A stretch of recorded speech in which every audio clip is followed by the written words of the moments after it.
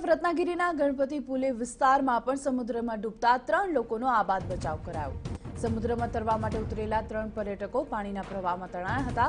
જોકે સ્થાનિક લોકો અને તટ સુરક્ષકોની સૂઝબૂઝથી ત્રણેય પર્યટકોના જીવ બચાવવામાં સફળતા મળી. તો ત્રણેય પર્યટકો અથની બેલગાંવના રહેવાસી છે. મહત્વનું છે કે ગણપતિ પુલેના સમુદ્ર કિનારા પર લોકોના તણાઈ જવાનો આ બે દિવસમાં ત્રીજો બનાવ છે.